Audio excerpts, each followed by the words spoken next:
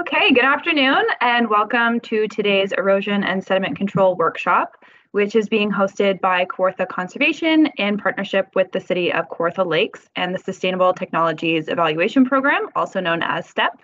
My name is Sarah Finnemore and I will be assisting with today's course on behalf of STEP. Today's course will be instructed by Lisa Rocha from the Toronto and Region Conservation Authority, and she is a longstanding project manager with STEP. Before we get started, I would just like to mention that while audio is available, we ask that you uh, wait for your questions um, at the end and either put them in the chat or raise your hand. I will either read out your question or call on you to turn on your mic. Please note that today's session is being recorded and I will now pass it over to Lisa. Thanks, Sarah. Um, hi, everyone. Thanks for joining today. Um, as Sarah mentioned, I'm Lisa Rocha. I'm a project manager with the Sustainable Technologies Evaluation Program at the TRCA. Um, it's a little background about me and my journey into the world of erosion and sediment control. Um, I've been with the TRCA for about 20 years now, and my work has been focused on stormwater and erosion and sediment control research and guideline development. Um, I've worked on, um, I would say, several field evaluations that have been focused on sediment control, pond evaluations, and monitoring. Uh, we've also done some evaluations of erosion and sediment control practices in general, like not necessarily ponds, and um, polymer technology for erosion and sediment control applications and pond cleanouts as well. And um, that those I think have really helped shape my understanding of this kind of topic and the very significant challenges of environmental protection during construction projects. I've also developed um, a few guidelines related to erosion and sediment control over the years. Uh, most recently, I led the development of the updated erosion and sediment control guide for urban construction that we released in 2019. Um, so today, Kawartha Conservation reached, uh, they reached out to me a while back and um, to organize this workshop. So I'm really grateful that they did that and I have a chance to do this today. Um, and they really want to, they did this because they really want to raise the bar on erosion and sediment control in the region and definitely feel that education and training is an important part of that. So hence um, this session and the one that we have next week. Uh, so during the workshop um, and in the second one coming next week, I'll be focusing on the latest guidance on erosion sediment control best practices and we're going to draw largely from information in the 2019 guide and also curriculum from other STEP courses um, that we've offered on erosion and sediment control over the years. So I'm going to start off, uh, for those who are not familiar, just talking a little bit about the Sustainable Technologies Evaluation Program. Uh, so it is a Conservation Authority-led collaborative for right now. We have three members. So the current partners are Toronto Region Conservation Authority, where I work, uh, Credit Valley Conservation and Lake Simcoe Region Conservation Authority. And we work together. Um, the main goal is to support broader implementation of sustainable technologies and practices, specifically in a Canadian context, um, considering the Canadian um, weather patterns and conditions that we have in legislative context as well. Um, and our goals really are to carry out research. Um, a lot of times that could be desktop research or monitoring based studies um, and evaluate clean water technologies to determine um, uh, whether they're effective and if there's any sort of specific um, strengths and weaknesses to those strategies and how they should be applied. Once we, um, when we look at new technologies um, that are effective um, and there's like not a lot of uptake, we look at strategies that can overcome implementation barriers. Sometimes we're looking at like, well, this should be something that's incentivized because it works so well, but it's expensive, or um, there's legislative barriers um, to something that's really effective and they don't need to be in place. So some legislation or regulations or language might have to change. Sometimes people just need more support and understanding how to implement new stuff that comes into place a lot with low impact development, which is still new in a lot of jurisdictions. Uh, so we look at how do you overcome barriers to adoption. So that would be like providing more guidance and decision support tools. So that's how um, the second, the, that third uh, objective there is we develop tools, um, could be like calculators, um, modeling tools, um, anything that helps people feel more confident in designing uh, certain best practices. Also, um, we develop guidelines and policies that support broader uptake of the technologies that are effective. And then lastly, we do things like this, which is engage in education, advocacy, and knowledge transfer, mostly training. Um, we do workshops. Um, and yeah, that's kind of like how we take um, the approach to the program is those different facets of the program and, and with the overarching goal, as I said, to just support broader implementation and more uptake of technologies that really work and will result in more sustainable water management. So as far as the workshop outline for today, um, I hopefully have you for about just under an hour and a half now. Um, and I want to leave some time for questions. So we're going to cover these topics. This is more of the uh, intro 101 um, workshop. Um, so we're going to talk about a lot of fundamental things, but I think it's um, a good coverage because we also are going to talk about very specifically about erosion controls, like each best management practice and each sediment control practice. Um, not comprehensive necessarily, but a lot of the main ones that um, are known and are covered in the erosion sediment control guide will be covered today. So that's a little taste of what we're going to talk about. Um, I'll be stopping for questions probably once in the middle and then at the end, of course, so I can take a little breather and also give everybody a chance to to ask questions while their um, questions are fresh in their mind. So, uh, so I I brought this up um, in the beginning when we first talked about um, kind of what this course is based on, but uh, new-ish. it feels like uh, new to me because the whole pandemic is like a blur, and you know our lives changed, of course. But right before the pandemic was when I was wrapping up uh, this erosion sediment control guide. So in 2019, and um, it was a significant update to the 2006 Greater Golden Horseshoe Conservation Authorities guide that a lot of people were really familiar with. Also, um, so some of the I want to just talk about highlights and things that are significantly different from what the old guide had. So I definitely encourage you to check these out in the guide itself. But um, one thing we wanted to include is a qualitative erosion risk assessment methodology. So we um, put in something that wouldn't be like a lot of calculations in math, like the what you would see in something like the revised universal soil loss equation or RUSLE. Um, that uh, we heard feedback sometimes is a lot of calculations and a lot of effort for not necessarily uh, a huge payoff on the ground in implementation. Like it's not going to vastly change how effective your um, erosion and sediment control plan would be. But having some just basic qualitative um, considerations that you look at, um, we'll talk a little bit about what those are, but that will affect your erosion potential on your site. If you look at that, look at different locations of your site, consider erosion potential while you're doing your ESC plan, that's what the focus uh, in the guide on that chapter is just um, having a little bit more thoughtful consideration of erosion uh, potential throughout your site um, rather than just looking at soil type a little bit more involved consideration than that. So we'll talk about we'll touch on what that looks like in the guide. I tried to clarify the ESC approvals process. Um, some flow charts we included like checklists that you could use in plan review. So if you're doing your submission and you want to make sure you understand everything that we would like to see, you would just go line by line um, and just you can actually say yes, included, no, not included, and why. And the reviewer would have this like as almost like a, a cover and would see that like, okay, they've included all the things we look for in a submission and they've uh, in their ESC plan, that, that is to say too. Um, we inc- updated all best management practices. Um, we included any new best management practices that have been emerged as effective or come onto the market since 2006. And also, we eliminated any reference to proprietary names. So, you used to see a lot of um, names that are were specific to certain brands, and we've moved away from all that and just made all the names generic. So, hydro seeding, um, there's different types of seeding that have name brands. Um, we don't call it that. Like um, seeding with like soil is now called just like pneumatic seeding or blown.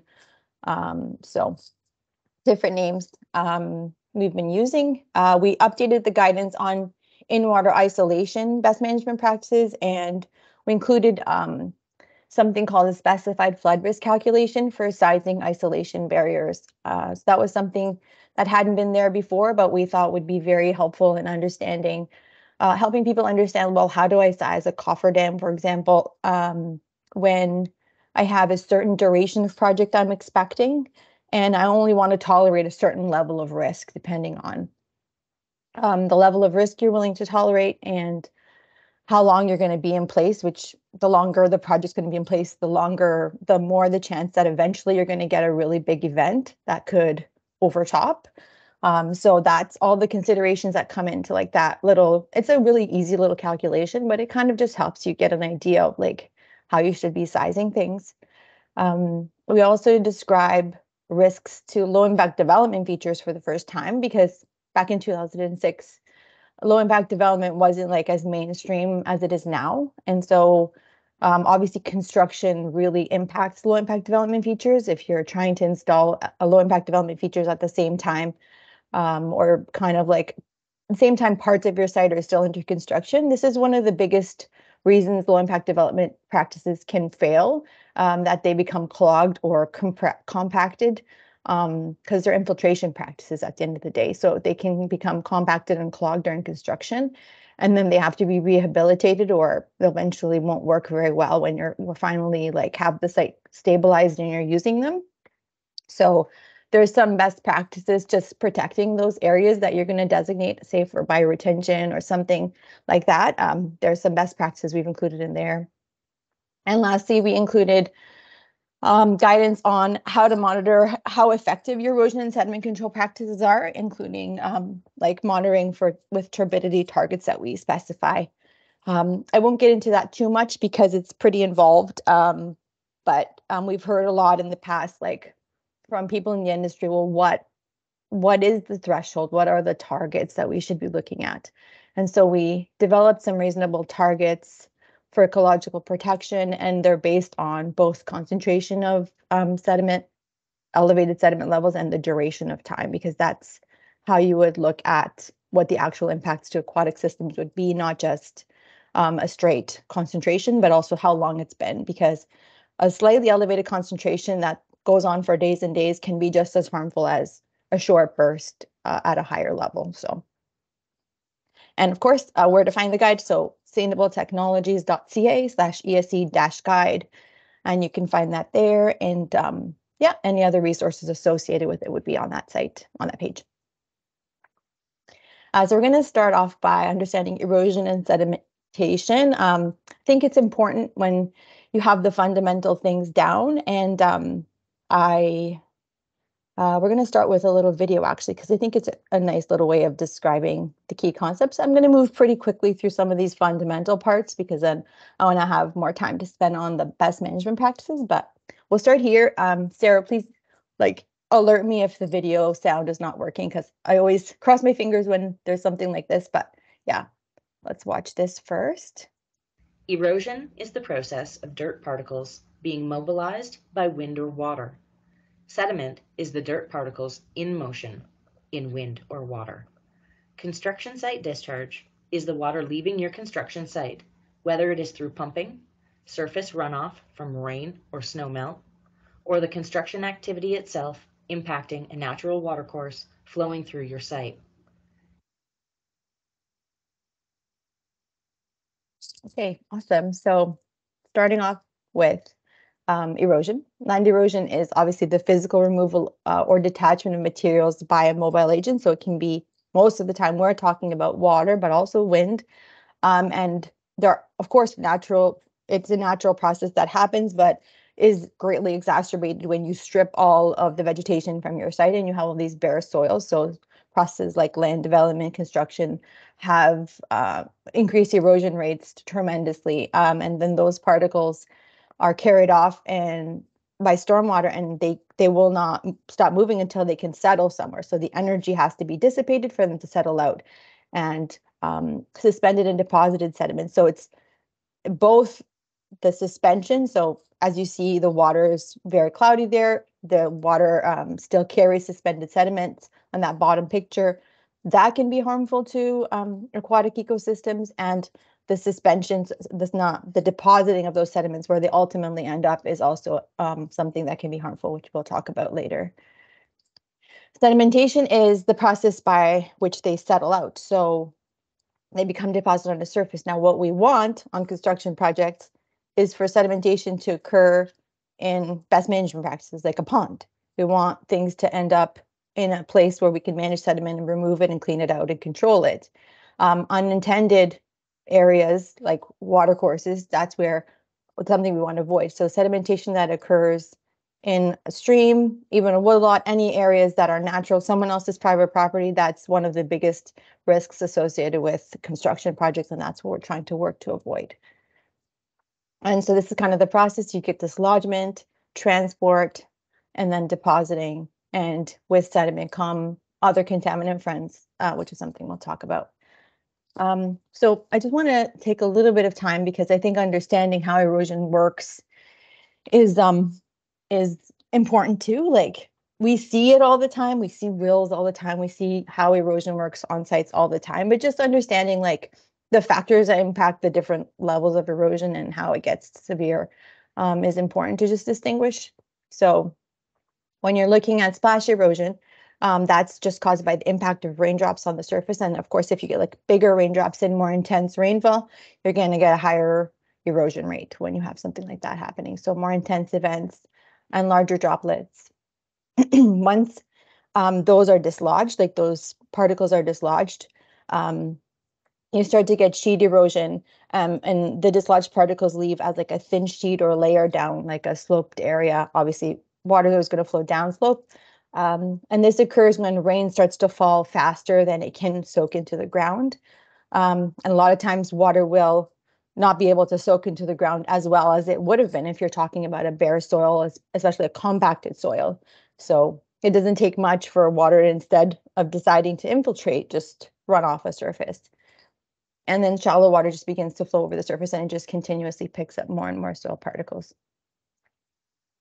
Um, and so then what happens is you start to get rill erosion and that that happens when the water starts to like concentrate in smaller like depressions and um, erodes into form little streamlets or rills uh, on a slope face. And so they're typically described um, we're saying rills are less than 30 centimeters deep, and the distinction is basically because they can be filled in with like a pretty standard piece of construction equipment with no need to bring in any soil to fill in or move soil around to fill it in, um, and just like a pretty easy fix. But when you progress to the next level, and when rills, as you see down the slope, start to like kind of merge together and form like a bigger um, uh, erosive like channel, um, that's considered a gully. And we the general rule of thumb larger than 30 centimeters deep and there's more soil displacement so you have to sometimes bring in some um, soil just to fill in that gully and then it's more challenging to repair. Um, and obviously mobilizes a lot of soil into areas you probably don't want it to go. And lastly um, when you're talking about channel there's also channel erosion to consider and that's when the channel banks are better eroded and water flowing through a channel and and that can happen a lot also during construction because you're just changing the hydrologic regime. So if you're removing bank vegetation sometimes or you just have higher flow rates because you've changed um, the hydrology of the area where you have a construction project happening um, it can just cause a lot of flow in that channel and also can cause scour from the sediment loads that are being carried. And so you can see increases in channel erosion over time and the last one we're going to talk about is wind erosion. Um, and this is funny. Yeah, this is like obviously not as something we focus on as much when we talk about erosion and sediment control. I think a lot of times we do think mostly about stormwater. Um, but wind erosion is one of the probably the largest sources of complaints, like for municipalities, because you know wind. Um, if they feel like people that are are neighboring construction areas feel like they're breathing in all this particulate matter um, and nearby and it's becoming deposited on their property all over the place. Um, so it's you know an air pollution concern and sediment gets everywhere. It's a common problem on construction projects uh, a big source of complaints and of course it's so same things that impact like um, erosion for uh, with by water and it's just that the soil is bare and oftentimes it's dry, so it's a lot of the summer summer months and windy conditions that are going to cause um, this to be exacerbated. So when you look at what influences soil erosion, um, we're looking at four main categories here that everything kind of falls under, and it's climate and rainfall characteristics, the site topography, um, the erodibility of the soil itself. So it's just a characteristic of the soil that you're looking at, and ground cover, if any, that's in place. so I'm going to go into like each one of them just a little bit. When we're looking at soil erodibility, one of the key things is to consider your soils at the grading level and not just the topsoil and understand the erodibility class of the soils that are at the grade level. Um, when you look at um, the soil characteristics that impact particle size and soil texture, for example, um, is a big factor. So larger particle sizes like gravels are typically less susceptible to erosion and they need higher energies for particle detachment and transport. So that's why they don't move as easily. Um, and soils with a high clay content are also less susceptible to erosion because they have like a high cohesive strength, so they're stuck to each other. And um, soil texture also can affect that too, the rate and volume of runoff. Another important thing is soil permeability and structure. So if they have like a high permeability, um, you're going to get less runoff and you're going to get um, more more um, potential for infiltration, um, less risk of erosion and, and, sediment transport in those situations. Um, and soil structure is really an indi- indicative of the extent to which the soil particles are, are bound to one another and that affects its erosion resistance. Uh, when you're looking at organic matter, um, the soils that have like a high organic matter typically have a lower erosion susceptibility due to their moisture retention capacity. So they can keep a lot of water and they have a good soil structure. On construction projects that require like extensive soil stripping, organic content in those soils will typically be minimal. So, um, so here you can see a bit of a spectrum. This is a table you could find in the erosion sediment control guide from 2019 and you can see just a bit of a spectrum that defines like the erodibility classification of different soil types to kind of help with some decision making um, in terms of like how much you have to consider your erosion risks on your site. One of the key things, I mean, if you look here, you'll see um, one of the least erodible is clay in the least category. But importantly, um, it is um, not easy to erode clay, but once they're in suspension, they're one of the hardest types to settle out because of the size of the particles. So not all so- soils erode at the same rate. So silty soils, for example, are easily erodible, while clay soils are the most difficult. But you might want to pay attention. To, so you might want to pay attention to areas with silty soils on your site. But it's important to know if, if even though clays are difficult to erode, they're by far the hardest type to settle out. So once they're in suspension, um, you may have a really difficult time providing enough detention time to have those particles settle out um, and may even need like some sort of assistance in flocculating that out. Um, so even areas with clay, just because there's there are clays doesn't mean like there's not going to be like a risk there to consider. So something to think about. Um, I'm going to move on to one of the other factors we mentioned, which is ground cover. Um, so you want to obviously retain existing vegetation as much as possible, especially for areas that remain inactive. Uh, this is obviously the most significant thing you can do to maintain like the hydrologic regime and the infiltration in the area because existing vegetation is going to be superior to anything you're going to be able to establish after the fact um, unless it's like something you've really established like almost like as a permanent stabilization um, and if you do have to strip, you want to reestablish as soon as you possibly can on any bare areas. Um, and what happens when you have a vegetative cover is there's a lot of layered benefits. So there's a canopy cover that shields the ground from erosion. Um, you get less soil compaction um, because and per, and you get more permeability, so you get more infiltration because the roots, uh, the the roots that are established there, they improve structure, improve infiltration, and increase the stability of the soil to like large intense event. So it just provides stability, increases infiltration, shields the soil from erosive forces, and overall is like the best possible erosion protection that can ever be applied. if you're looking at a vegetative means. Um, so this is like another similar chart with a spectrum of like efficacy of different um, covers and from the least to most um, erodible areas. So in this case, least meaning good, like it's the least susceptible to erosion. So obviously a densely vegetated area is going to be really um, not very susceptible to erosion. I think one of the interesting things to think about in this chart for me is that um, lands get seeded and people feel like they're doing a good thing until they are established and there's significant vegetative growth. Those are not protected areas and they can be very susceptible to erosion. So even though something has been done to do um, some sort of vegetative stabilization, the establishment has to be complete before um, it can be effective. Where you see hydroseed, hydromulch areas prior to vegetative growth are in the moderate to low category. That's because they typically also include a tackifier, which provides that protection until the seed does get established. So you'll see um, that that's just a much safer thing to like have uh, installed. Whereas if you're just doing a seed, there's no kind of tackifier, like something that makes the soil uh, kind of bind. Um, you're going to have a high erosion potential. You're going to waste the money that you spend on the seed. So that needs a blanket or something else to protect it until it's established. Uh, so also one of the most important things, topography, steeply sloping areas are highly susceptible, so long slopes, um, and they need greater consideration. So whenever you have areas like that on your site, you need to pay particular attention to those when you're doing your plan.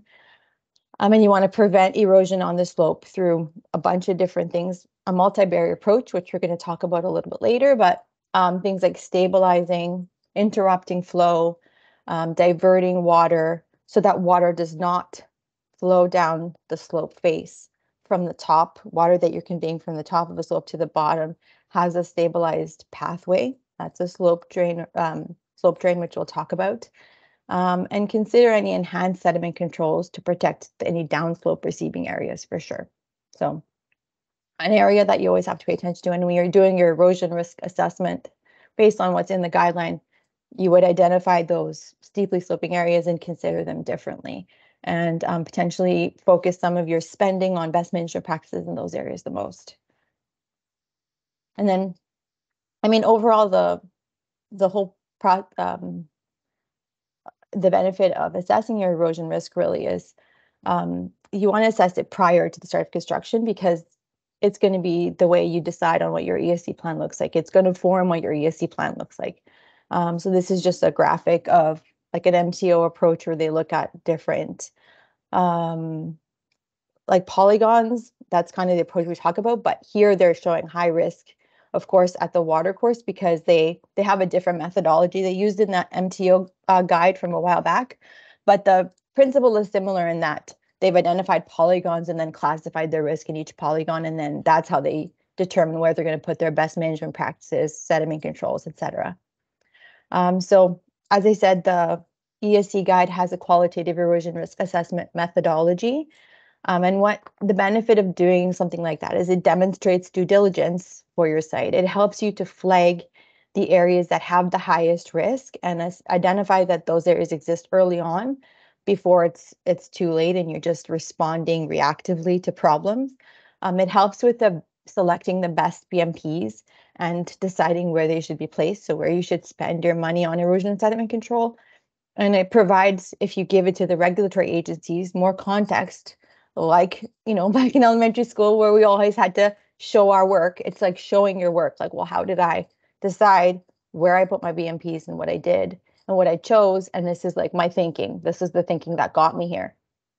Um, and definitely encourages you to put like redundancies, higher, uh, more redundant, uh, more uh, resilient and redundancy of BMPs in areas where there's the highest risk um, or you're going to go up to a natural feature, or you have a, a steeply sloping area, there's a high erosion potential in the area, that's where you want to spend most of your efforts putting your best management practices. We're going to move on to looking a little bit at, I'm sure a lot of us understand this already, but it's important to look at like exactly what, you know, layers and and ripple effects of the impacts are when there's like um, a sediment released to natural features in private areas. Um, so we're just going to look at a short video again and then kind of talk about some of the key impacts that we notice a lot of the times um, where there's natural areas adjacent to construction activities. We see this every day, everywhere. A piece of land with rolling hills, a creek, and forest. The area has been approved for development. The equipment comes in, has to grade the land, and soil is exposed. Mother Nature is unpredictable, and you experience some windy days. The rain comes, and now you have sediment creeping into your creek.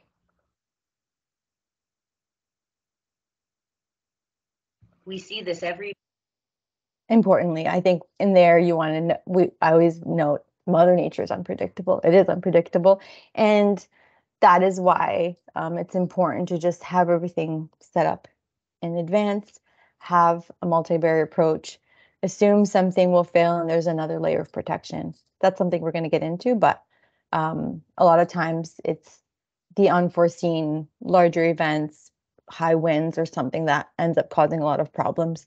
Um, but um, yeah, we have to think about how to address those before and be proactive, I think.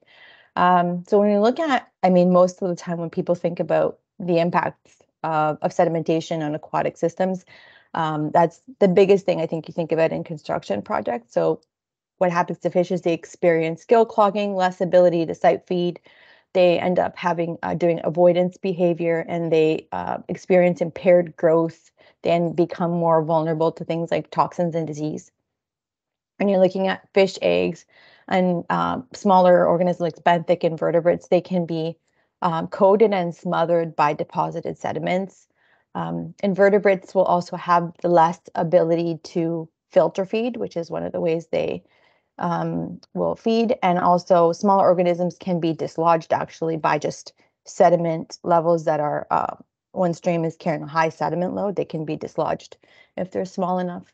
Um, then, when you look at um, just the general turbidity, it will reduce the amount of sunlight that's received, which impairs the or just reduces the ability for aquatic plants to grow.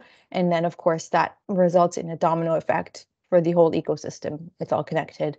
Um, and, and stream beds and spawning areas also become compromised just because of the deposited sediment. It reduces the amount of oxygen they can receive and all kinds of things related to the substrate when you have a layer of thin deposited sediment on top.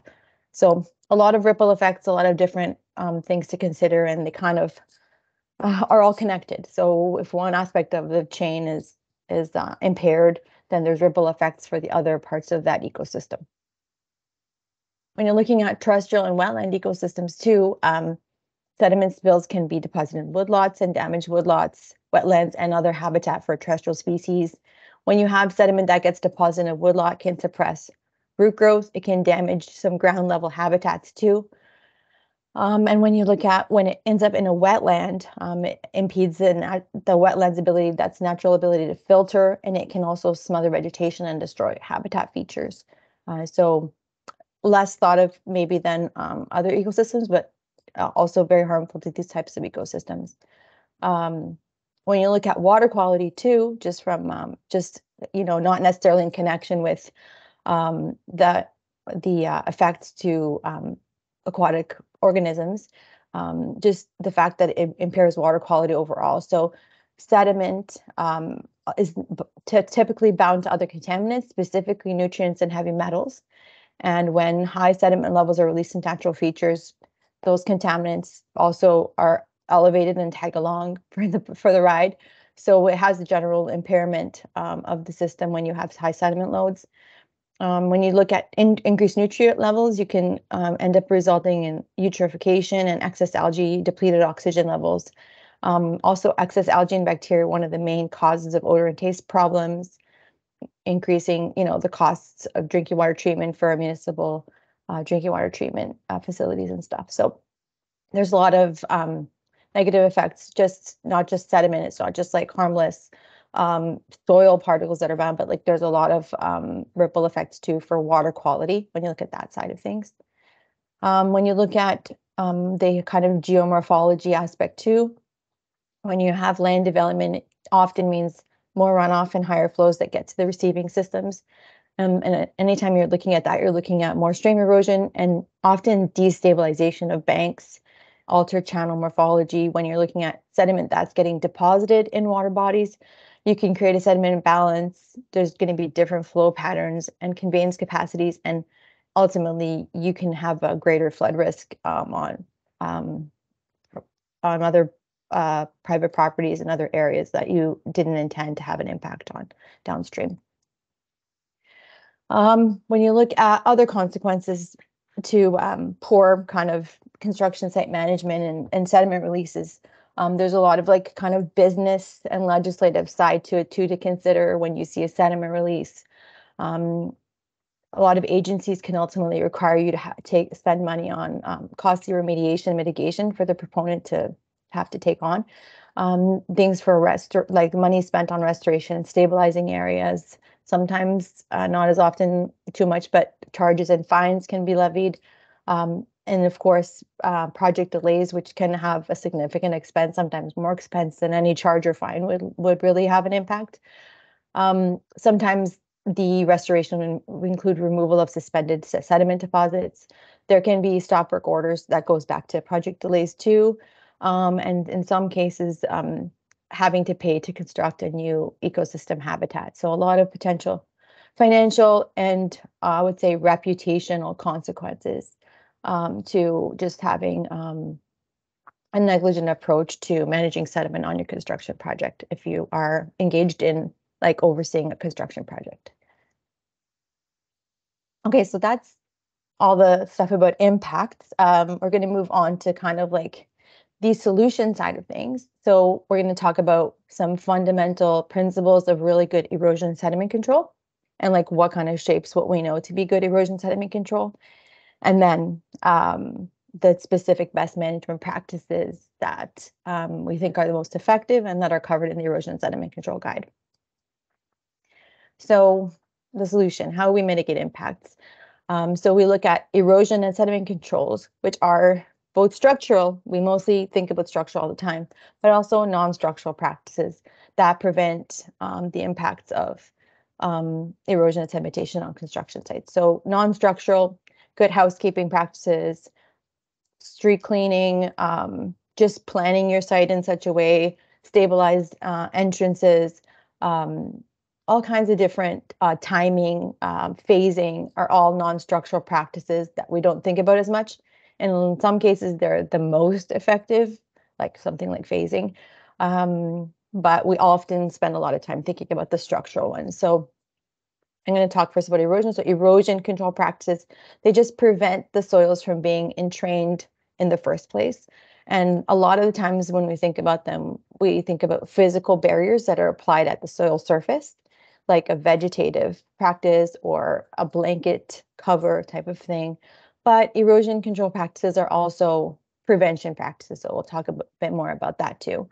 Um, so when you look at sediment controls, you're looking at um, removing sediment that's suspended in stormwater. So this is, uh, they've already been entrained. This is already something that's the second step because you've already entrained um, the sediment and now you have to also consider okay how to get the sediment to settle before it ends up in a feature um, and so you can it's often done through gravitational settling but some there are also filters exist. Um, but gravitational settling is most of the sediment controls we see. It's just it the sediment's going to fall out and it's going to fall out when you dissipate that energy and that's what all these different things are doing. Sediment control ponds check check dams all these things um those bags everything that just makes the water like take a pause and stop and then the sediment settles out there where you've made the water stop these are all gravitational settling controls so this is um, a list of what we're going to eventually go through in terms of the best management practices, but I wanted to specifically point out on erosion controls, um, non-structural practices in things I consider consider more erosion prevention practices and not so much erosion control. I know it's kind of a weird distinction to make, but I consider um, it like less of a barrier and more like not even allowing um, a risk in the first place. So minimized or phased land clearing um, and things like that. Um, slope drains, kind of like to me more prevention. Um, and then other things are more like a direct direct barrier where you know you're going to be receiving like some sort of flow on that surface and you're just getting it ready and protecting it. Whereas other things are like diverting water around things to prevent erosion. Um, so that's just a distinction I wanted to point out and give a little taste of what we're going to be looking at when we look at all the BMPs. Um, so here, um, we're going to go through some of the uh, main principles. So th this entire list we're going to go through um, side by side and just kind of elaborate on what each one is. So um, these are the principles that kind of shape effective erosion and sediment control um, as, as what we've learned to date on um, through all the different studies and research we've done.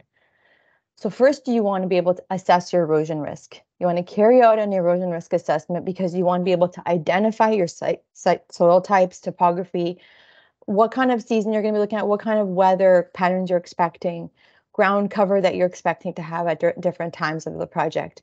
And you want to plan with that knowledge in hand because when you know better, you can do better. You want to place the best controls, layered controls, redundant controls in the highest risk areas. And that's the only way you can do that is to first understand your site. So that's why you assess erosion risk first. Um, well, these are two highlighted at the same time. That's not good. But let's ignore that. So we're just only looking at first at consider, consider erosion prevention first. Mm, these are not working. Oh, goodness. Here you go. Consider erosion prevention first. Sorry, guys, that was a bit of a glitch there. Um, you want to minimize the amount of land area that is cleared. So um, you want to avoid non-essential clearing. So all those things we talked about when we said maintaining existing vegetation, uh, not clearing if you don't need to. You want to, if you do have to clear, restabilize as soon as possible. If an area is inactive, like there's nothing planned, you want to restabilize within 30 days. I know this can be hard to achieve, but some sort of stabilization for inactive areas also considering phasing the development. Um, this is something that has been studied in other jurisdictions. There's been research studies about it. It's very effective. Um, from a business perspective, it tends to be hard to implement and enforce, but um, dividing your site into smaller parcels of more manageable size, where you could have a smaller parcel, complete construction, and then move on to the next area only when your site is complete and stabilized. Um, again, from a business perspective, it can be very challenging, but this is obviously one of the most effective things you can do. Um, when talk about something like, um, again, this is not working, uh, multi-barrier approach. So what you looking at when you're looking at a multi-barrier approach is you want to apply like the treatment train concept that applies to stormwater. Um, so you want to look at source conveyance and end of pipe controls in a series series to create a treatment train. And what that does is create a resilient system because there's redundancy, there's a backup for everything. Um, so if your first line of defense fails, there's always going to be still another control in place. And that's the whole idea of a multi-barrier approach. I think we are going to talk a little bit more about that in future slides. Click through this faster because it's not working until. Um, so another one is slowing down and detaining runoff. So if you can slow it down, you can reduce the er erosivity of that runoff. As soon as you slow it down, um, it it reduces its um, ability to erode. And so you want to do things like interrupt flows anytime you can, especially if you know you're going to have an area with channelized or fast flows. You want to detain runoff. You want to allow that sediment to settle out um, and potentially maybe even infiltrate or evaporate. That would be amazing, just reducing the amount of water overall. Um, that's less likely where infiltration is difficult on construction projects, but um, you just want to allow as much settling areas and opportunities as you can. Um, and of course, things like flow interrupters and conveyance channels and stormwater outlets, and also along contours of slopes. So anywhere where you're going to have water flowing over a surface, you want to try and slow it down so you don't create like highly erosive flows. You want to also divert any runoff around problem areas. Um, problem areas meaning areas that are not necessarily that are going to be highly susceptible to erosion. Maybe they're unstabilized, uh, maybe it's slope. So um, you want to consider whether the ground can withstand the erosive forces that you're going to be directing towards it. If not, you want to use diversion measures like a slope drain. So that's like collecting all the water. Um, if there's water flowing down a slope face, you want to collect the water um, in in a um, kind of like a channel and convey it to a slope drain. And then you want the slope drain to convey the water down the slope rather than water free flowing down a slope face, um, which is going to cause a lot of erosion and, and rill erosion specifically in gullies maybe. Um, so things like interceptor swales, slope drains, they just specifically take the flow and convey it. You want to control the water. Don't let the water control you. So you want to decide this is my stable flow path and this is where I'm going to be directing my water and taking it to where it needs to go to either a best management practice where it's going to be further treated or released or whatever it's going to be. Um, but you want to be able to move water around your site in stable flow paths anywhere you have to move water. You also want to just minimize slope lengths and gradients. So for long and steep slopes um, that are like slopes more than 10% or longer than 30 meters, you want to be able to uh, kind of use stabilization. Um, you want to use a flow diversion if you can, like a slope um, slope drain, and you want to do flow interruption along there. So you want to maybe put like um, some silt socks or something just to kind of slow flows down on that slope face and prevent prevent the slope from eroding. Um, of course, ideally in addition to stabilization, but any any sort of thing you can do to uh, install there is better than having nothing at all. You always want to avoid having concentrated flows. So if you do have concentrated flows, you want to make sure um, that it's along a planned, stabilized path. Um, specifically, things like discharges from pumps, where you do have like a very high velocity concentrated flow. You always want to make sure you somehow dissipate that. You could use like a geotextile bag to kind of spread it around make sure the ground area that the water is being received in is hardened in some way or stabilized so that it's capable of receiving the flow without causing erosion at the pump outlet. And lastly, you always want to like look at the ESC plan as a dynamic document and evolve it as needed. Um, so it's a living document. It's not like, well, I got my approval and now I don't have to ever think about that again. Like you want to modify because the main the main objective is not just obtaining the approval. The main objective is ensuring the environment is protected from sediment releases at all times. That is the objective.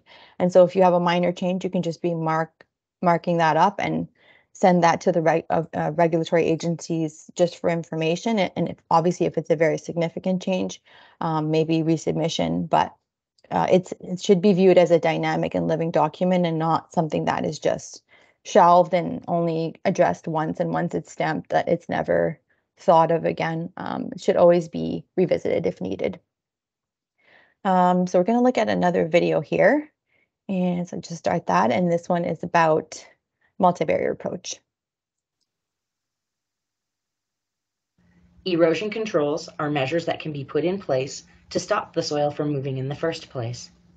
Sediment controls are measures you can use to deal with the soil that is in motion. Based on the concepts above, Many people think if you only employ erosion controls on your site, then you don't have to use sediment controls. This is a general misconception and definitely not good practice, as both erosion and sediment controls should be used as a multi-barrier approach. Take, for example, football strategy. Erosion controls are only the first line of defense, so your tackle, your linebackers, and your cornerbacks. But as with most things, they are not perfect and can fail, so you have to be prepared.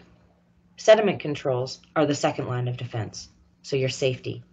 That should be in place to catch any sediment that has made it past your erosion control measures. Used together, the multi-barrier approach will help minimize dirty runoff from leaving your site. Erosion control. Okay, so the multi-barrier approach we talked about before it's the idea of having multiple things in place. If something fails, you just heard. So here's a little example. Um, there's a vegetated buffer that they've left. Um, there's an erosion control blanket. There's silt fence. Um, and there's just multiple things in place before um, any sort of harm would, any sort of sediment would reach a receiver. So um, what you want to do is apply sediment controls and erosion controls in series, and you want to create a resilient system that always has another backup in case the first one fails, which happens very often. You always can count on something failing, but is it going to cause a sediment release or is it just going to cause one piece to fail and I still have protection? And that's what you want to look at always. I'm going to take a small pause uh, to figure out if there are any questions. Um, so Sarah, let me know if you had any Yeah. questions. Hi. We we do have one in the chat. Okay. Uh, so when using stormwater management ponds during construction, I understand that they are a sediment control, but should they be considered a last defense? And should we be trying to minimize the amount of soil entering the SWM pond, eh, for example, using silt sacks and road cleaning, particularly when the pond outlets are sensitive to features? So kind of what you were just talking about, using Yeah. multi-barrier approaches. Yeah. I mean, if it's sized effectively, like you definitely want to make sure. So a lot of times sediment control ponds will be put in, but they won't be stabilized um, and they won't be maintained very well. You have to consider the fact that they fill up much faster than a normal stormwater management pond. So if you aren't doing anything to mitigate the amount of um, water um, coming into that pond all at the same time and the amount of sediment coming in, um, it's going to fill up really fast and the odds are they're not going to be cleaning it out as much as they should so it's just going to be full of sediment and not function so the, the way the sizing criteria for sediment control ponds is it's designed specifically to you know provide the capacity um, for certain events. So it's sized it, as soon as you your capacity is reduced the size it's going to be more likely that you're going to have sediment releases. And one of the biggest things that with any sort of wet pond that um, affects its efficacy it's not so much concentration it's actually the big amount of water that comes in and pushes things through. So it's actually quantity more than the sediment um, the set, sediment concentration in your in, influ, um, influence. So if you had not a lot of in, uh, influence if not a lot of flow coming in and it was really turbid yes you're going to fill up your pond pretty fast but that's not where you see that really bad sediment release leaving the outlet. It's when you have like really big events. So actually this is hard to do on construction projects but more ponds more detention more areas where water can rest and maybe even stay on your site for a while and not be all coming into your pond at the same time is going to end up being way more effective in terms of reducing the total sediment leaving your outlets um, so it's more a quantity control thing that you want to try to achieve on construction projects um, than it is just like pure looking at like I took a sample and my sediment was just really uh, turbid here. Like, well, how much water was moving around? Um, one thing that's hard to do on construction projects because people don't want water sitting around. They would like to make less sediment control ponds. Many of them would like to just make one sediment control pond, and that's where the ultimate pond's going to be.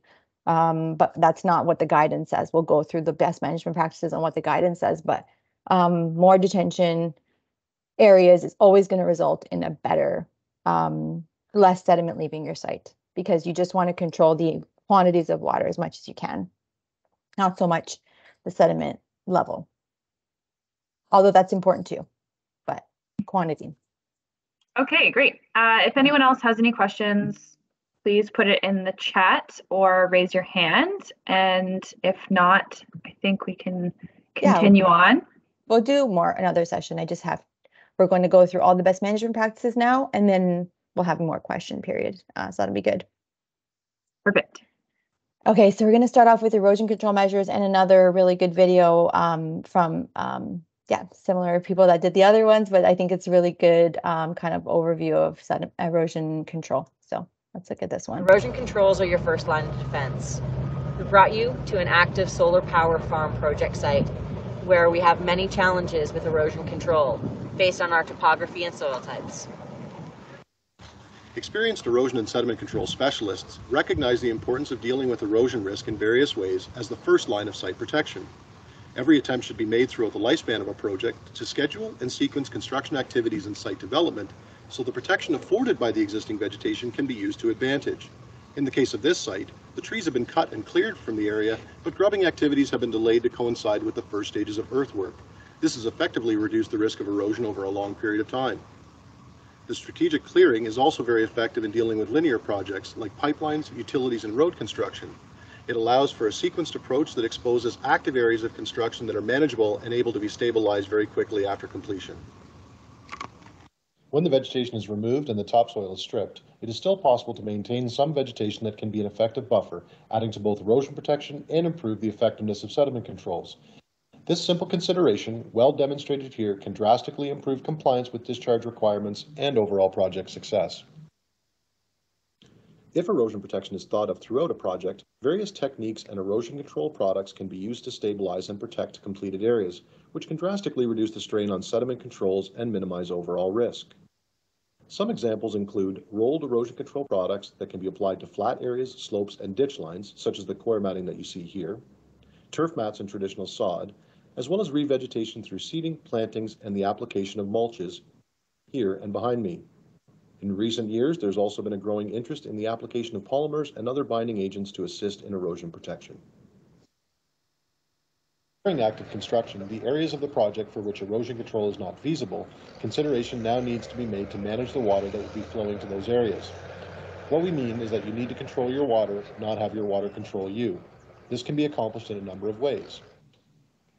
The implementation of slope drains, which pipe water down a slope and provide complete control over where the water will go the installation of berms to keep water from entering active areas and direct it to desired locations, and the construction of diversion channels to effectively control water in order to keep it away from active construction. Since we know that the velocity of water in concentrated runoff flows also increases erosion, it is important that any constructed diversion channels and slope drains or berms be stabilized and direct water to stabilized areas that can accept those flows. While every project and every site is unique, the risks associated with soil erosion are present in every case.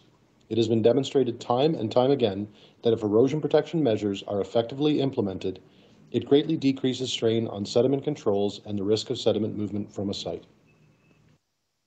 Great. Okay, so going into some of the erosion control best practices here. Um, so they are the most important line of defense in any erosion sediment control plan because they prevent and minimize erosion from occurring in the first place.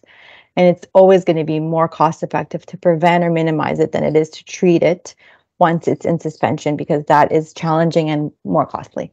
Um, so one of some of the the key things we're going to go through, we're going to go eat through each one. So minimize or phase land clearing, interceptor swales, slope drains, surface roughening, mulching, seeding. A lot of things are kind of, those things are put usually best in conjunction with one another, but we'll talk about that. Uh, rolled erosion control products and chemical stabilization, also poly- it's kind of polymers really is what we're talking about there.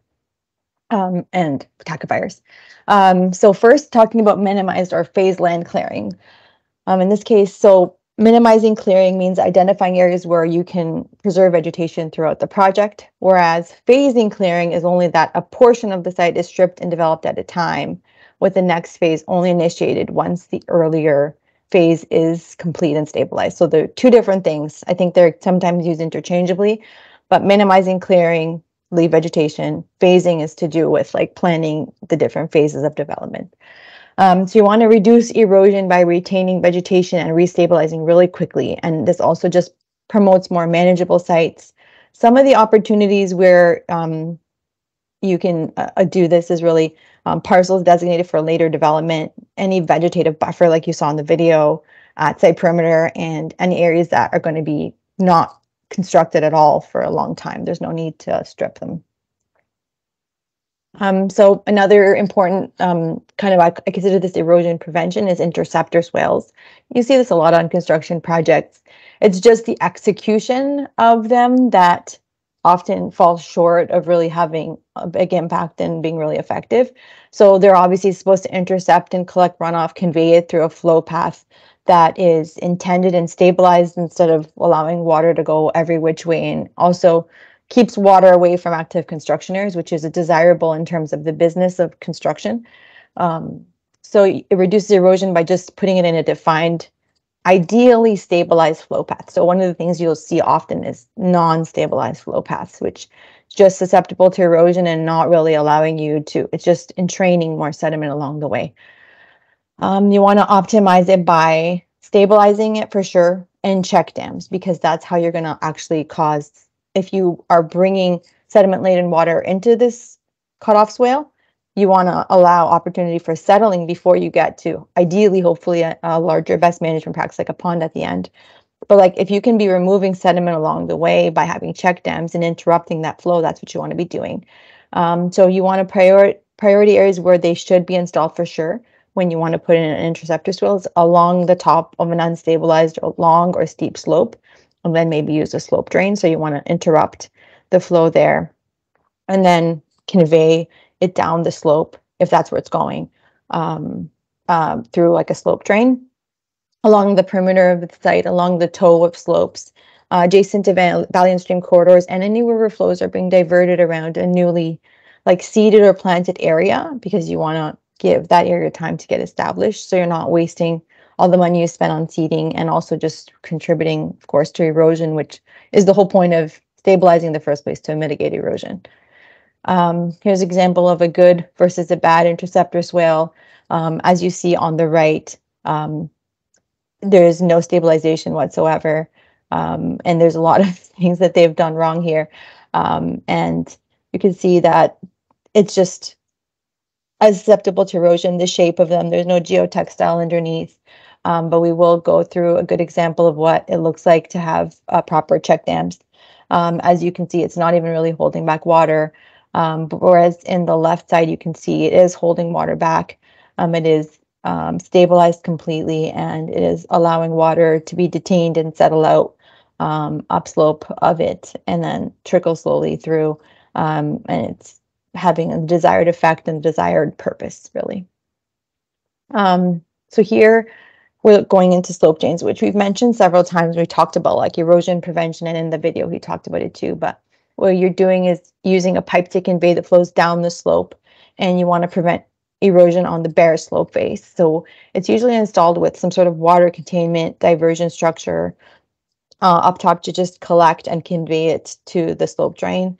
And on long slopes, you could also use terraces to intercept sheet flows on the slope face because um, you're dealing with water that came from at the top of the slope, and then you're dealing with any water that's incident on the slope face, which can also cause erosion. So you want to deal with the slope drain, but you also want to deal with um, a stabilized or like flow interrupted or terraced um, face of the slope, so you can also intercept the sheet flows that can cause erosion on the slope. Um, you always want to make sure it's secured to the ground and like this perfect example, apply some sort of energy dissipation at the outlet. So here they've got like some stone. Um, and so you want to just make sure that the surface is prepared for that concentrated flow and um, you're not going to cause an erosion problem there. So that's a, a good little example of a slope drain. Um, that's more on the erosion prevention side. And some of these practices we're going to get into now are um, a lot of related to seeding and things that could be done in conjunction with seeding and like preparation of ground surfaces and things like that. So surface roughening is something that's always been talked about, but really you're just creating grooves and depressions. They do slow down runoff if done properly. As you can see, they're perpendicular to the flow path. You don't want to create actual more channels and rills. So if you're not doing it properly, you're actually creating rills, whereas you, you're going up the slope uh, with some machine like this, like a dimpling machine, um, would be creating like kind of grooves that would uh, kind of roughen the surface and slow water down. But it really is a bit limited in effectiveness. So for sandy or rocky soils, as you can see, you wouldn't be able to shape the soil that way. And also, it's just infinitely better when used as like almost like a preparation for seeding or in conjunction with something else like um, seeding and mulching um, to like increase that potential of, of that surface to like not to decrease the erosion potential of that surface really. Um, so then we look we're looking at something like mulching, and so this is something used a lot on construction projects, but you're just putting in organic material, so like straw, compost, wood shaving on a soil surface. Um, and it's really good if you use it with surface roughening and seeding, um, but it helps just to help the soil retain moisture, regulates temperature, and keeps the soil healthier. Um, if you're using with seed, it makes keeps the seeds insulated and keeps them in place. Um, and it also reduces runoff velocity. So there's a lot of benefits to a mulching, um, and it's it's an effect you can use like vegetative clearing waste from your actual site and use it for the mulch. But um, there's all kinds of different mulching options now. Um, so some of the materials that are used are like straw or hay, uh, which can be used in conjunction with the tackifier or can be crimped in. So the picture on the far uh, left is just a crimp. It was uh, straw that was crimped in uh, with a machine. Um, you can use shredded wood, bark chips, paper, fiber, compost.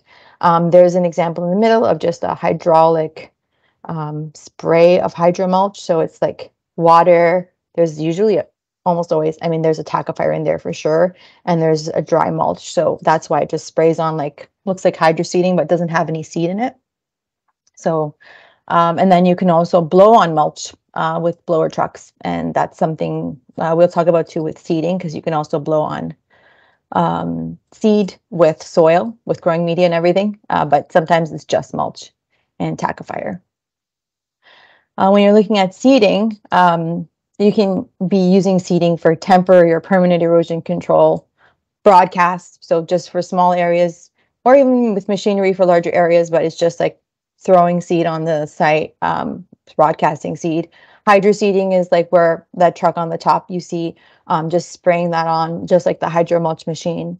Uh, it's a mixture um, of like emulsifier, um, the water, the seed, and all the different things. Uh, not soil though. Hydro seeding would not include the growing media. And then the last one, it's pneumatic seeding with growing media. I think, I mean, a lot of the times people for a while the only company is Terra Seeding, so they would call it Terra Seeding, but that's a brand name. Um, so it's just the concept of blowing it on, and that's the bottom picture there on the right. That's what they're doing there. Um, so it's just everything in one shot. Um, you want to use annual species as a cover crop alone or as part of a permanent seeding mix just to get that fast stabilization, just to reduce uh, the risk of erosion when you're getting established. You can use uh, species like winter wheat, buckwheat, oat as your cover crop. Um, we have a cover crop decision guide in the ESC guide. It's from Credit Valley Conservation, but it's pretty good. You may have local considerations, but it's more just a decision guide. Um, I think I have it in, a, in one of the slides coming up.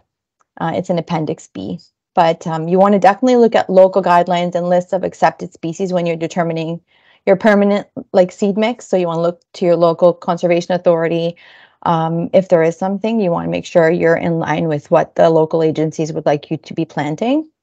Um, and you want to establish cover that's adequate for erosion protection. But if you want to do that, um, you, it can take one growing season up to three years, depending on your application rate and the species. So a cover crop is really important. Um, I thought this was a useful table. This is also from the ESC guide, but if you want to refer to that, I don't want to waste too much time on it here, but it kind of gives you an idea of application, like where sh should areas of a site where you could be using broadcast versus mechanical versus hydro seeding um, versus pneumatic seeding with growing media. So kind of like just a decision support table to help understand what's the most suitable depending on your whether you're looking at a in a swale or a slope, pond banks, etc. Um, and this is that decision matrix for um, that I was talking about uh, for cover crops. So uh, this is right from the ESC guides. You can see it there. This is from Credit Valley Conservation and kind of just helps you understand and make decisions um, based on what your seeding objectives are, season, how long uh, or short term things are going to be in place. Um, and just really a good, I thought, decision guide to include because it's just really helpful. Um, just things to consider. And of course, local considerations have to be taken into account, but it's something I think is important to look at, um, especially if maybe there isn't as much local guidance available. Uh, moving on to another really important erosion control, um, looking at we call the category of rolled erosion control products. I think a lot of times people just call them blankets, uh, but there's different categories in this, um, and there are different categories for different strengths, really. So um, it's always a prefabricated blanket, and it's a ground cover. It's usually organic and combination of organic and synthetic materials, and they act as a barrier to erosive forces. Forces. They also protect your seed, uh, prevent uh, erosion. Um, they moderate the soil temperature, keep everything in place while you're establishing seed. Um, they also are often used without seeding sometimes, but yeah, you can use them um, in a lot of different applications and they're highly effective when installed properly. So, and when you're looking at something like a netting, that's the first picture on the right, you're looking at a woven degradable net, like something like jute, straw, coir, um, and it's just temporary stabilization and it's best when you're using it over like a mulch um, to get extra stabilization layer. Um, for blankets, you're typically looking at something composed of coir straw or wood fiber woven with a photodegradable netting and it makes like a thicker blanket. It's stronger than a netting in terms of like how long it will last, but you can get short to long term. So nine to 18 months uh, is a short term and you can get one that would last one to two years actually. Um, and so it's in the middle category, uh, but they have really good ground contact. Um, so these are very popular. And the, the third level is the highest level of protection, which would be a turf reinforcement mat. This is like a hardy material. It can be like a coconut husk fiber, synthetic. The one you're seeing there on the right, uh, bottom of the green is synthetic. It's going to give you the highest tensile strength and the most long-term um, protection. Um, and they're usually combined with the protect. They kind of combine the protection of a blanket with the reinforcement of netting, and it gives you really long, uh, like strong protection. And it's good for steep slopes um, and it's more for permanent stabilization and you would use it like if you have highly erodible soil. So turf reinforcement mats are more for a permanent solution in general. Um, so places you can use it, slopes, unvegetated swales and ditches, um, pond banks, that's actually a slope there, but that's actually was uh, a sediment control pond bank um, and diversion channels um, so a lot of uses for blankets on ESC sites and other rolled erosion control products. Um, one important thing I wanted to talk about, especially I know this is, uh, we're from Toronto, um, and um, even more, this is even more important, I think, uh, for the Kawartha region, but um, you want to be considerate of putting certain types of blankets in natural areas. So the any rolled erosion control products that have like the biodegradable or photodegradable plastic netting, um, they are really good in terms of how much erosion uh, prevention. Like they have a high tensile strength, but they can also result in ensnarement of like smaller wildlife, like snakes, turtles, and frogs. Um, there's many examples of this happening in, in photos, sad photos of, of you see this happening. And so it, it is with some consideration that you should be choosing these if you're putting them in areas that are frequented by wildlife, like riparian areas, um, even stormwater pond banks, um, you may want to opt for 100% biodegradable products that don't have any plastic netting. Uh, examples are jute, sisal, coir, fiber, coir. Honestly, I never know how I want to say coir or coir, but I think it's coir. Uh, fiber, um, and just like ideally a loose weave design, so the joints are a bit movable. So they won't necessarily become trapped because it's like a movable joint that won't keep them um, there to die essentially so um, where you do have to use plastic netting you want to remove that as soon as it's no longer needed like reduce the amount of time it's in place um, just to not be a wildlife hazard really which it has demonstrated to be in some places for sure um, moving on to the last category i'm going to talk about on erosion prevention today, erosion um, control, is chemical stabilization. Um, so these are substances, there are synthetic and natural ones. And what they do is just they make the soil cohesion better. Like they make the soil bind its particles to one another or to a mulch. And what happens is it just keeps it all together and keeps it in place. A lot of times during seed establishment, but they they actually work like in general, like just to keep the soil in place. Um, but as soon as they wear off, um, they the soil will not be like providing uh, protected anymore. So that's why a lot of times it's considered like a tide over, just like a blanket would be, where it's like I'm protecting the soil, but I'm waiting for a seed to be established. Um, so it's often used in hydroseeding, hydromulch mixes. Um, you can get infiltration through it, even though you think of it like, okay, it's like some sort of like synthetic thing I'm putting on top of the soil it still allows infiltration, which is the great thing about that. It keeps everything in place. Um, so there's some plant-based solutions like uh, guar gum, psyllium starch. Longer term ones are like tree resin, pitch emulsions. Um, things like synthetic petroleum-derived polymers. So anionic polyacrylamide, that's that white powder in the middle there. I'm not sure what I have on the right there. It looks like an emulsion. Um, you would put like in a hydro seeding or hydro mulching machine. Um, but uh, and then there's cementitious binders. So there's different categories. Uh, a lot of times when you get somebody to do like a hydro seeding, you won't necessarily know what's going to be in that mix, and it just comes as a package deal. Um, but sometimes also people use um, an, an polyacrylamide powder on its own and just apply that to soil surfaces, and that's that powder. I've seen that done. Um, so they definitely do provide uh, pretty effective, um, but they are there's temperature considerations for sure. It's not really very effective. I don't think as effective in cold situations. Um, so you want to use them, not use them within 30 meters of natural feature. And if you have to be subject to like the regulatory agency approval, um, you only want to apply it on bare unseeded soil if the area will not be subject to vehicle traffic. So it's not so strong that you can just apply it on like all your uh, roads throughout the construction um, site and, and that it'll just hold up. Like it's not really necessarily going to work if you have high erosive forces and, and vehicles driving down and breaking down that soil. Um, cationic polymers and chitosan are some that should be avoided um, unless there's some sort of proven, but they're not really typically as frequently used for stabilization, especially chitosan. I, I don't use see that used as much for stabilization as for flocculation, which we'll talk about later. Um, but you want to just ensure that it's safe at the intended application rate, and that's on the manufacturer to prove. Um, and consult local policies on the use of polymers. Consider what local agencies are comfortable with because it may vary from area to area. Um, and specifically, um, so yeah, I just want to look into that. But we do have some guidance that we developed several years back on the use of anionic polyacrylamide specifically um, and there is like uh, that guide that you see there on the right is available online on the Sustainable Technologies website. So there's some important guidance in there. Um, and the picture on the bottom is just an example of like completely bare soil where nothing else has been done to it, but there has been anionic polyacrylamide applied.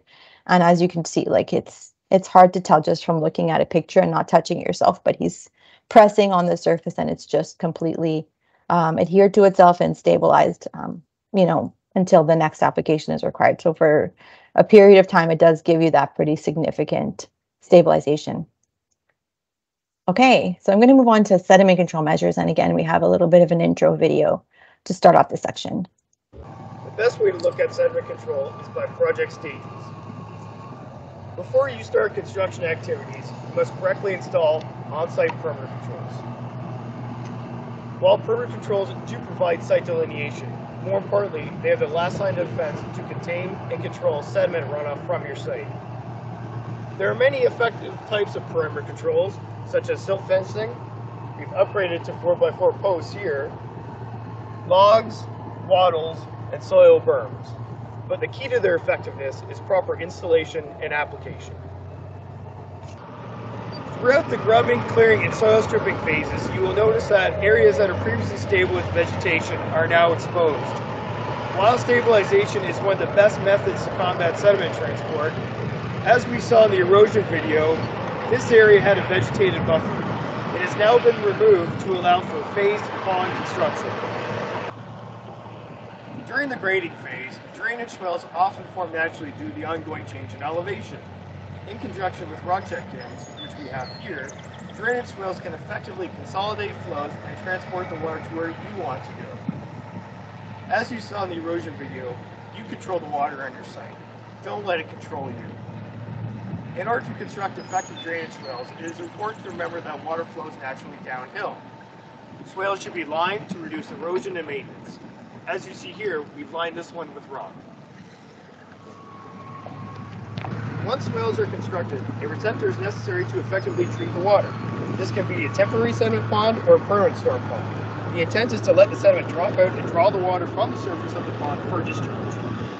And remember, the longer the water has the pond, the more sediment will come out of suspension, giving you a cleaner discharge. During the active construction and excavation stage, there are key things to keep in mind. If water needs to be pumped from excavations, put the pump in a filtered sump. Here, we've placed gravel underneath the suction end of the pump to create a barrier from sediment. Discharge sump water into swales, ponds, or filter bags.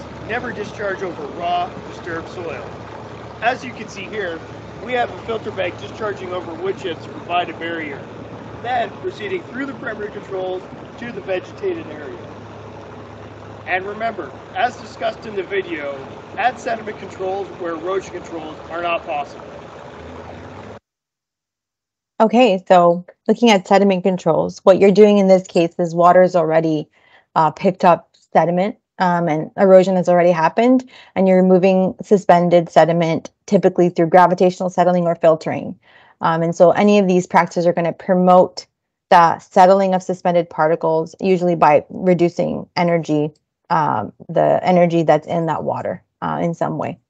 Um, so we're going to look at a whole bunch of different applications, uh, BMPs here in the next few slides, and I'll go through them. Um, so one of the most popular, one of the things we see on almost every construction project uh, is sediment control fence. Um, so this is geotextile material that's supported by posts entrenched into the ground. Um, and it's applied to reduce flow velocity, to pond sheet flows, and to promote gravitational settling. So it's not filtering the water, it's slowing it down so that, that water settles out. Um, what it, it typically should be used is to redirect sheet flow toward a treatment area, like a sediment control pond or trap but it is not a sediment filter. So it, any fines uh, or any particles that are larger than 50 micrometers will pass through. Um, and they are meant to be installed perpendicular to sheet flows, but not in concentrated flow paths. Like we, we do often see this as a thing, but this should be not uh, a check dam. It's not a check dam. Uh, it's not meant to be used that way. Um, and the components that are part of it are geotextile fabric and structural support fencing, that sometimes you'll see like that page wire fence uh, and posts. Um, so in what applications are good along perimeter of construction site, that's where you almost always see it on sites where there's almost no other erosion and sediment controls, you'll see a perimeter sediment control fence almost every time. Along any upgradient side of sensitive areas, you want to put uh, sediment control fence, streams, and river corridors around stockpiles of excavated material. Um, there's other options you could use, but that's one option. Like you could use uh, filter socks also. Um, approximately uh, 1.5 meters away from the base of any moderate slope. Any other areas where sediment laden sheet flow requires treatment, and as long as the fencing is installed parallel to the site contours. So that's what you want to be um, getting sheet flows only. And when you're using it as a barrier to protect a natural feature, you might want to consider an enhancement. So one enhancement could be 10 by 10 uh, wooden posts um, instead of T-bars, or um, you could use double row silt fencing. Uh, sometimes you'll see double row silt fencing and there'll be straw bale uh, in between, like um, kind of like just a structural reinforcement. So um, these are all things that give you that multi-barrier redundancy approach if you're butting up to a protected natural feature, sensitive feature that is particularly important to protect. You don't want to put like the bare minimum silt fence. Um, this is a graphic that's in the ESC guide. So we kind of recreated some really important um, design drawings that everybody references um, from. Um, I think that LR is the one that she's been she's been doing. Lisa Rocha. Sorry, can you mute Sarah? Um, and so this is a oh. drawing for. Oh, pin pin for me as a. Sorry, someone's not muted, so if we could just take a chance and mute somebody. That's Sorry, okay. got it. Um, so this is um, a, a, good example of like just a drawing. It's very much the classic way it's always represented. Um, you want to um, make it like in a J curve facing upslope to ensure that it doesn't um, go, water doesn't flow around the sediment and um, like around the, sorry, around the fence. Um, so that's an important feature, the J hook, uh, J curve, and um, just how it's installed and trenched in is all described in the drawing here. So this is something I, I, highly encourage everyone to look at. And one thing the people that I worked with on the ESC guide really wanted to include is frozen conditions because sometimes you do have to install silt fence and the ground's already frozen and trenching is not possible. Um, and so an alternative option here would be not to trench it in, but instead to um, just use like um, this um, fa filter fabric and a filter sock and stake that in place um, and use that as an alternative. Um, one of the alternatives you'll often see would be like just a bit of stone there, um, but this is considered like a, a better version of that option um, to keep the um, the geotextile um, in place and instead of having to trench it in and, and obviously it's not necessarily as strong uh, of a silt fence as you would get when you're applying it in unfrozen con- uh, normal soil conditions. But if you have to install it, this is an alternative that you could consider that could be effective. Um, another great sediment control is filter socks and natural fiber logs. These have become increasingly popular over the past, I would say, uh, like a couple decades really. They've been popular now. Uh, and they're tubular devices that interrupt flow. They slow it down. Uh, for filter socks you're looking at like a mesh casing that's typically filled on site with compost or like a wood chip material. Um, increasingly they've been with, filled with wood chips more and more and they used to be more with compost i think it was to do with maybe the availability and price of compost uh, but compost um, if it's good quality compost does remove more contaminants than the wood chips whereas the wood chip material um, does a very good job of still causing the the sediment to settle out. It just doesn't have that ability to like kind of uh, adhere to and retain certain contaminants. Um, but wood chips is one of the things you'll see a lot of times filling these socks now. There's also fiber logs. Those are typically more prefabricated and composed of materials like straw, flax, coconut, or wood fibers, and those are not necessarily filled on site. Um, and you just want to pond the flows. Um, they also do have some uh, filtration benefits if they're compost filled. So they kind of like do remove contaminants through water passing through them. Um, they can be seeded to, and there's a lot of different circumferences for different applications. Um, and definitely the ESC guide has way more guidance on this. Um, but some of the ways you would put it is as like a flow interruption when you apply perpendicular to sheet flows on a level and sloped areas at the base of slopes and stockpiles when you're looking at along the site perimeter, that's another option in areas of sheet flow, um, perpendicular to channelized flow in swale. So they can be used as check dams, not like silt fence, but they, they can be used in both applications as perimeter and ditch checks. Um, around storm drain inlets, as you can see there in the middle picture, when you're receiving sheet flows there, um, and around sediment bags in a dewatering treatment train type approach. So if you have a sediment bag land on a flat surface, you can put this um, around as like another barrier um, before water is uh, leaving the area. Um, and during frozen conditions, again, you can use it um, in place of sediment fence um, that cannot be trenched in. So that's another option completely um, instead of sediment fence. then other type of check dam would be a rock check dam. So in this case, you're looking at something made of granular material. Again, there is uh, an OPSD for this that we've included um, in the ESC guide. Um, and it's applied across low flow swales and ditches to reduce flow velocities, uh, enhances sediment settling, and reduces erosivity. Um, but it does have limited ponding ability and it, it doesn't necessarily allow you to settle fine. So you're going to get more of the coarse sediment settling out.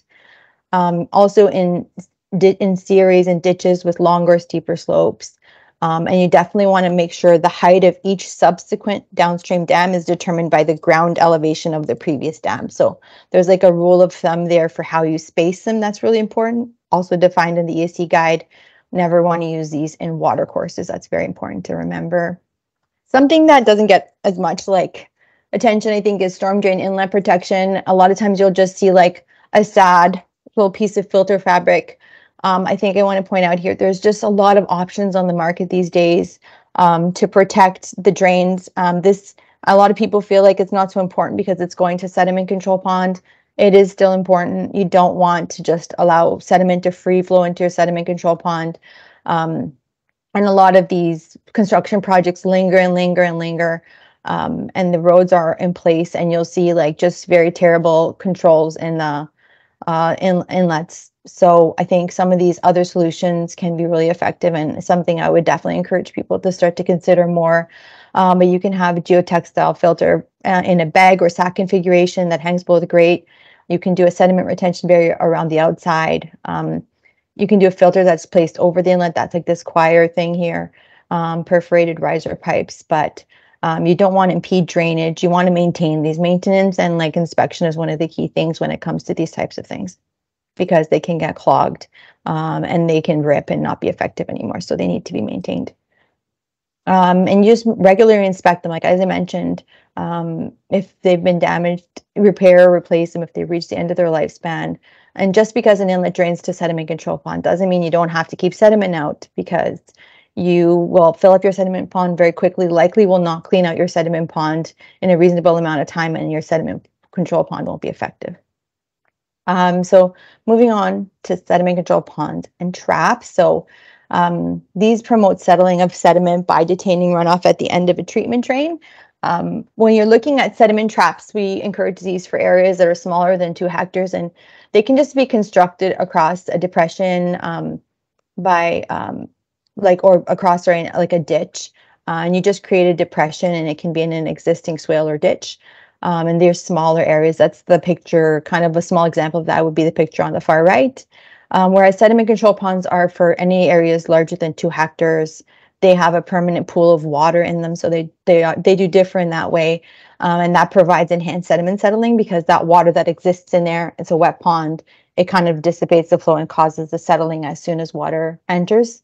Um, and then the pond outlets, if they do have like a full outlet um, structure, uh, they can they're controlled at a rate over an extended period of time. They mitigate stream erosion, um, and there there's all kinds of sizing criteria you have to consider too. Um, I think here is some of the sizing criteria to consider. So this is directly from the ESC guide, all the sizing criteria and all the different components of sediment control ponds that should be designed.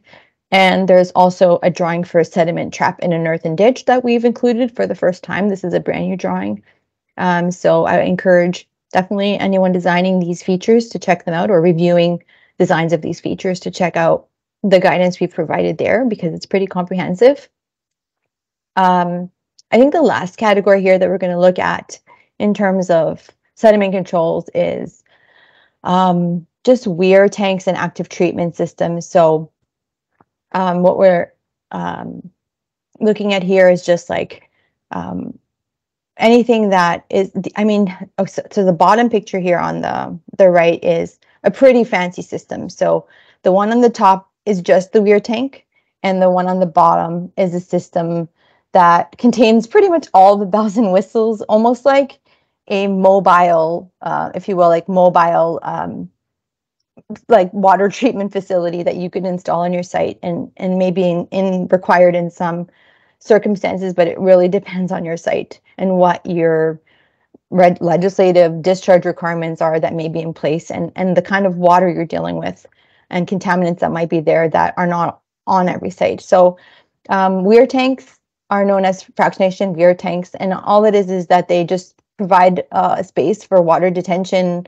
Uh, it's similar to a pond, really. It just provides uh, settling. Um, they can be convenient and small footprint, so um, they they can be used for shorter term treatment needs if you don't want to like or don't have to install a pond and you want to just have something you can just bring in on a shorter term situation. Um, weir tanks can be used as a part of an active treatment system, which is the one again on the bottom corner there. And those provide like a higher level of water quality treatment. They can include um, a tank employing weirs, um, other hydrodynamic processes for physical separation of floatables, you can, uh, the, the treatment system will also include potentially uh, some sort of polymer, tac, um, flocculant, any sort of flocculant that's going to make, the flocculant just makes um, the sediment particles bind to one another so they're heavier and they settle out. And then uh, types of filters. So a lot of times you'll see a sand filter um, and one of the pieces of this system would be like a sand filter for polishing. So it's a very involved system. Depending on the contaminants you want to remove, this is obviously something that's brought in by a company, professionals that are engaged in this type of work. But this is an option. These exist for construction projects as well. Um, and I mentioned polymer flocculants, but just to kind of give a better understanding of what those are, you can see the little sample there where they've put some um, flocculant inside of a pretty turbid sample of water. But what it does is encourages the sediment particles to bind to one another and they form masses that then just are easier to either filter out with a filter or they actually are heavier so they just settle out. Um, and it just expedites sediment removal and especially if you have fine particles that are never going to settle out just with time and they're always remaining in suspension and you can never provide as much detention time as you need to get those settled out this is just a quicker way to get to where you need to be in terms of achieving your water quality goals.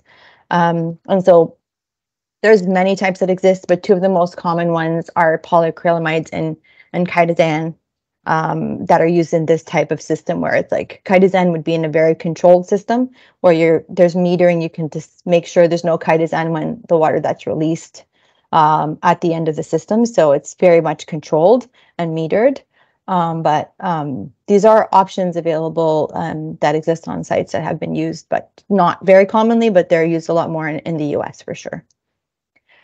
Um, and again, polymer flocculants should not, uh, should be anything that's used in this type of application on a construction site should be non-toxic to humans and other terrestrial and aquatic organisms.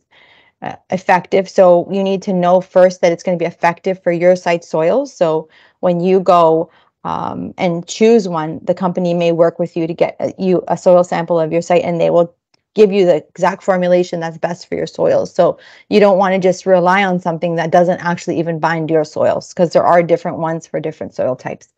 You want to make sure it's practical for use in the outdoors and otherwise safe to be used by people on site and everything as they're installing them and everything. Um, never to be used in natural water bodies. And uh, in general, cationic polymers have in past studies shown a higher toxicity to aquatic organisms. So we would generally say those should be avoided. But, um, you know, it is a case by case basis. Uh, but in the absence of better understanding, we do have, you know, some information that they they do attach to fish scales and cause hypoxia. So uh, that's something we've avoided in the past. And there are some um, resources in these guidelines here, all on the website. So there's a a polymer backgrounder, an application guide, and of course the ESC guide we've talked about several times. Um, I think actually this is the last thing we wanted to talk about, just vehicle tracking controls. I want to point out that there are different options, but the vast majority of sites, you're just going to see mud mats, rock stone pads underlain with geotextile fabric or prefabricated products in various designs that are considered mud mats, but then there are other things out there and the level of sophistication varies depending on what you need for your site and how much you're willing to spend. Uh, there are shaker racks and grates um, that are prefabricated products that just provide a stable entrance and actually just rumble the tires and shake some of i think there was one called rumble track too but it shakes the tires and shakes the soil out and then it has somewhere that catches all that sediment um, underneath the grate. And then there's wheel washers which are pretty sophisticated and expensive but there's also less um, sophisticated wheel washers. This is a pretty the Cadillac wheel washers over here, but there's also like easier ones, hosing station, and simpler ones where there's just water uh, kind of washing the tires in a more passive way. Uh, so there's all kinds of options out there, but it's very important to like not track sediment off your site and, and keep uh, construct consider vehicle tracking controls um, to not have sediment leaving your site, which like pollutes the roads, local roads, and increases resident complaints, but also that water eventually also is going to end up in a receiver too, because when it rains, all that street sediment is going to end up somewhere too. So um, important. And then I want to just point out if you want to see like a mud mat drawing, that's another drawing we did develop for the ESC guide this time around.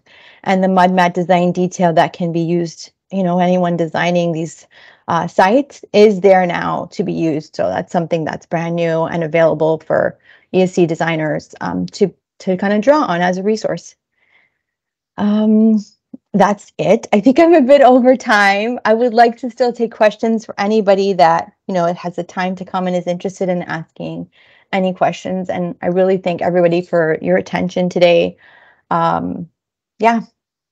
And if you have any questions, Sarah, if you heard any questions in the chat, or if anybody wants to just ask questions verbally, like I'm more than So- happy to take them. We do have one question in the chat.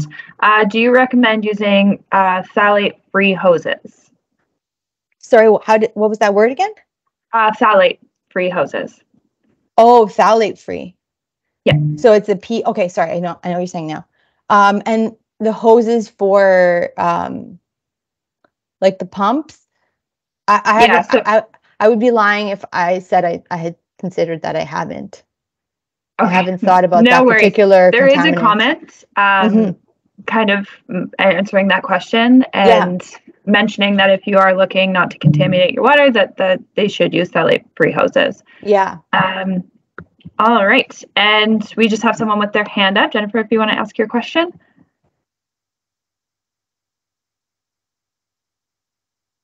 Oh, you're just muted. If you just want to unmute yourself and ask your question. Sorry, I'm so used to Zoom where I can just hit the No space bar. Um, with regard to the player logs and the sock installation, yes. um, there's discrepancies on how to install it because the people you buy them from tell you to put the stake through the middle, but we all Mhm. know that it's, they lift up over, they get destroyed much easier, they fall out, they just Mhm. they just decompose. So I've been trying to encourage a different way to install them. I saw in some of the pictures where they're just in behind, you put the crossing over top to keep holding them down. Yeah. So how can we encourage everybody to work on better installation? Um, because the manufacturers have a like, we usually put the stake through the middle. I'm like, yeah. that's not effective. Yeah. Yeah. Um, I've seen both too, and I've seen uh, debates like when we were developing the ESC guide, and they they were putting the guidance together or like debating about what is the most effective. But that kind of um, what do you call that offset pattern where you put one on one side and then on the other side you're kind of making up so that it doesn't shift at all. I've also seen somebody describe like if you can just stake it through a bit of the material in a way where it's not like right in the middle of it, but kind of like grabbing some of the material, but on the edge more, um, or a combination of it. Um, I don't know how to encourage it best other than like encouraging people to read like the guidance. Um, I saw on the Kawartha Conservation website that they have really good instructional videos on installing ESCs. So if there could be, I don't want to tell Kawartha CA to put out another video, but I think they're great videos, and the more people that could see them, the better. Um, so it's just really good instructional videos go a long way, I think.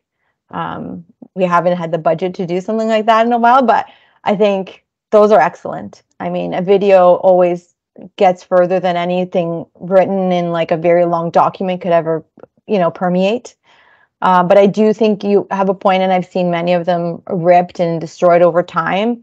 Um, and the other approach can be just as effective, ensuring they don't shift, especially if they're kind of somehow stabilized, maybe on just the ends. So like they don't have that give to like move back and forth, and you're just kind of putting like keeping them in place, but they don't have any leeway. If you're staking them only at the very tips or something, um, that might be a way around getting them to have like a huge, not to have a huge hole in them like all the way through. But I agree. I've heard that complaint, and there was a bit of a debate about it. But I do think it's better to avoid like having a huge stake right in the middle. Yeah. Um, and that kind of leads to my second question of, and I see that Joel has something similar where we're having issues trying to ensure that contractors are using their best management practices.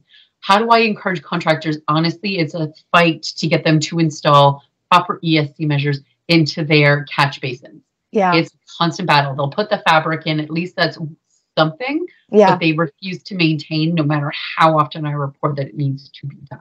yeah. And I don't know how, and again, it's going to the SWM pond, but I'm trying Yeah. to, we want to minimize the amount of times they have to dig that thing out because that causes a lot of cost Mhm. and issues with animals and everything else that comes with that. So that that's where the conversation comes in. How do we get contractors on board with all of this? yeah. We're having a, and I'm not saying all of them. I've got some really great guys, but there are some that are just so frustrating. Yeah. Yeah. I'm going to ask, sorry, what, what was your name again? Sorry, I'm not in the Teams window, so it's hard for me to see Oh, all the details about it. Jennifer. And Jennifer, are you with Kawartha or? No, I'm actually with uh, Natural Resource Solutions at ba- uh, consulting firm based out of Okay. Waterloo. Okay. So I would say, I mean, I, the obvious step to get them to do better um, inlet controls would be to in, require not a sediment like a, a geotextile fabric. It requires something better than that because if you use the sack, it the maintenance is much longer. Like you can get way more time of effectiveness. It's not even just that it gets full and clogged; it rips. Like it's destroyed all the time. Um, so I think if you can get them to just say like we require these other products to be used and you're going to have to do less maintenance and it's going to work for longer that's the easy way. But like as long as that exists as an option from regulatory perspective and it's not like encouraged to use something better like i think it's really the municipality's purview to say we're going to need you to put in these other better controls. Like this one's just not doing it for us. You're not maintaining it enough you're never going to maintain it. It's just going to sit there. Um, i think that's the only way to really push it. And municipalities have all the tools really to um, enforce that too because they can take letters of credit for they can they have all these financial mechanisms where they can kind of the first the approval process and the requirements to make them stick to what they've said in terms of erosion and sediment control. Okay. No, and that's and that's something that I always forget to do is go back to the regulatory agencies being like I'm having issues because Yeah. I try to manage as much and I hate to bring those regulatory agencies in when it's something Yeah. you know what I, I understand where you're coming from that it does need to it's beyond my control at this point and I do need to talk to you the next level. So but Yeah. I think there also just there's a comfort with being used to the same thing over and over again. And I order my materials from the same guy, and the same guy that gives me that material is going to give me that material, and that's the material I'm going to put over there. And I've never bought this other thing, and I don't want to buy this other thing. I don't know where to get it from. So it's just like changing, breaking that. I don't know exactly how. I've been thinking about this for many, many years, and this just no, so I think we're in the same boat on that. How can we Yeah. change the conversation? So no, that's perfect. Thank you very much. You're welcome. Okay, great. I think I saw another hand up, but maybe their question was answered. Oh, perfect. Go ahead. Lisa, I- I'm I'm just uh, wondering, in connection with the roll erosion control products, the turf reinforcement mats uh, consisting of the synthetic polypropylene fibers woven together. hmm Uh, any idea on the reality of the environmental impact on that on the long term? Yeah, I mean, I think that's something, unfortunately, like we haven't the whole issue of like plastics and in the environment and everything that, um, ha- like we we haven't been thinking about that as much as we should have until recently, I think. And we think, okay, well, it's always a good idea to reinforce this slope, and you know, we don't want to have to come back and fix this a million times. Um, but I think in reality, yeah, I mean, it is. Um, there's uh, photodegradable. I would be lying if I said I understood the full chemistry of like the photodegradable netting, degradable netting. But I would hope as we get into more these alternative plastics, like corn sugar based products, like you see for other plastic substitutes in the world, that we'll start to see like these products there too, where it's like plant based or like corn or something. Um, type of plastic that can be substituting that, but I don't know that the industry's there, or at least not that I've seen so far, where Okay. they've substituted. Yeah. Okay, I, I, that's something that has troubled me for some time. The Yeah. other issue was the polymer uh, flocculants, the cationic polymers that Yeah. um, obviously have ongoing environmental negatives attached to them. And Mhm. even, even, uh, I, I wonder, once the sediment has been uh, removed from the soil and Mhm. we see that these floccu- flocculants that have been used, where do they go? What do they do Yeah. with them? Because they still have these polymers attached to them in landfill or wherever they're used. Yeah. So with polyacrylamides, I know a little bit more just about that particular topic. Um, so they don't, I mean, acrylamide is something associated with cancer. Um, Yeah. But polyacrylamides, the prefer- preferred pathway of it breaking down is not to acrylamides. Like that is not like how it typically breaks down in the Mhm. environment. So I know there has been some study in that, and there is some concern. It's more that you want to make sure the polyacrylamide you get has a low percentage of acrylamide in it.